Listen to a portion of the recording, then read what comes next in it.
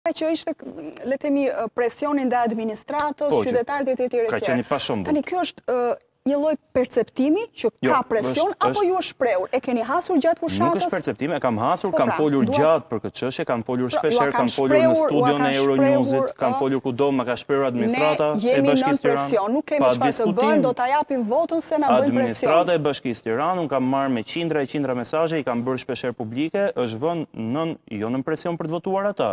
po i është kërkuar një listë me dhjetë deri në pesëmbëdhjetë emra minimalisht çdo punonjësi në mënyrë që të mbajë vendin e punës. Kanë qenë të shumta denoncimet që unë kam bërë gjatë fushatës për parregullsitë, i kam çuar një pjesë të drejtuesve të Bashkisë Tiranë, përfshirë dhe vetë kryebashkiakun, i kam kallëzuar në spak për korrupsion, për krime elektorale. Sot që ne flasim kanë kaluar tre javë nga dita e zgjedhjeve, ende nuk kam asnjë kontakt nga spaku, nga prokuroria e posaçme. Uroj që të jenë në gjurmim të Vangjush Dakos dhe të jetë i vërtetë ky lajmi për arrestimin e një kryebashkiaku pse ka lejuar disa kate pa leje, nuk e di. Ka një 3-4 ditë që arreston dhe e lëshon, bëhet urdhri, shkohet në spak, çohet urdhri tërhiqet mbrapsh, bëhet presion sepse ka një problem. Tentohet të arrestohet për disa leje që janë dhënë për disa kate pa leje, dhe nëse vendoset ky precedent pa diskutim atë duhet ta ndjekë nga pas Erion Veliaj, e ka në sheshin Skënderbej 7 kate pa leje godinën, të ngritur pallatin, e ka të faktuar katërcipërisht e pranuar botërisht nga ai dhe kryeministri, por këto janë çështje të tjera. Këto janë çështje të drejtësisë dhe unë nuk jam këtu për të bërë prokurorin apo hetuesin.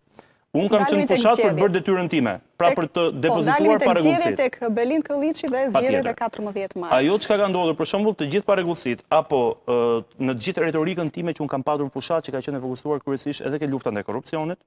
kam bërë detyrën që për shembull në rastet kur kam patur indicie, kur më kanë ardhur të dhëna për drejtues, drejtorë të caktuar të Bashkisë Tiranë,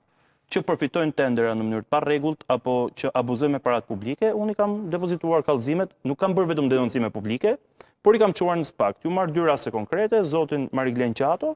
i cili ndërkohë që ka qenë drejtues në Bashkinë e Tiranës dhe është ende drejtor në Bashkinë e Tiranës, ka përfituar 28 tendera në vlerën 25 milionë dollarë